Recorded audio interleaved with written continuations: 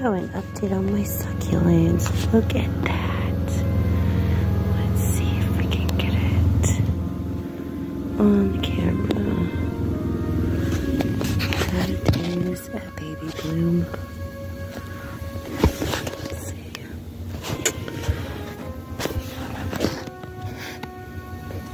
Hmm.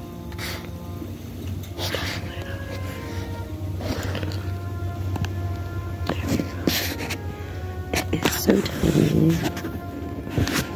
Barely see it. It's so cute. See if I. It's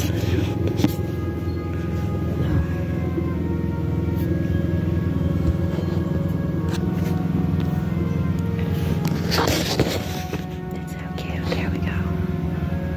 Oh, it's so cute. It's so tiny. So we have these three in bloom. And I see a couple have completely died, which that's okay.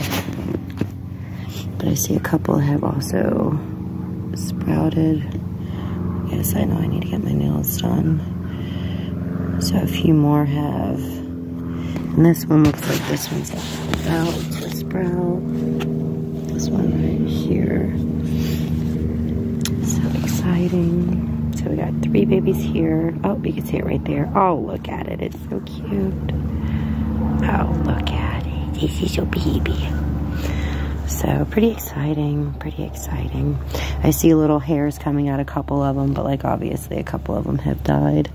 Um, I know someone had said something about like stop pulling the leaves off. These are actually leaves that have fallen off um, or the bottom leaves um, that I've pulled um, because they needed to be pulled for trimming. And this one looks like it has another bud coming up out of the bottom. So um, yeah, pretty exciting. Babies.